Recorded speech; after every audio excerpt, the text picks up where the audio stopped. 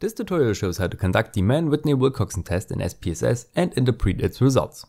Its purpose is testing two groups for differences, or in more technical terms, if they originate from the same distribution or not. It is the non-parametric alternative to the two-sample t-test. For example, I want to test the gender pay gap, meaning I have a fictitious sample of men and women and their respective income. The requirements for the Mann-Whitney-Wilcoxon test are the following. You need two independent groups and a dependent variable on at least the ordinal scale. To conduct it in SPSS, navigate to Analyze, Non-Parametric Test, Independent Samples. Now you have some customization to do. Go to Fields to select your test variable by moving it to Test Fields.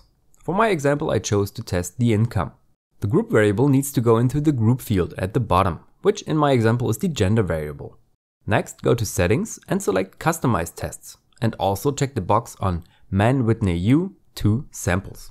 Under test options, you can specify a different significance level alpha, confidence intervals, and exclusion of cases when you are testing multiple variables for group differences at once. After checking all necessary boxes and options, click on Run to generate the test results. The test result will be shown at the top, but let's start with the population chart below though, which is nothing else than a separate histogram for each gender. I can see that the distribution for women on the left is a bit lower than the distribution for men on the right.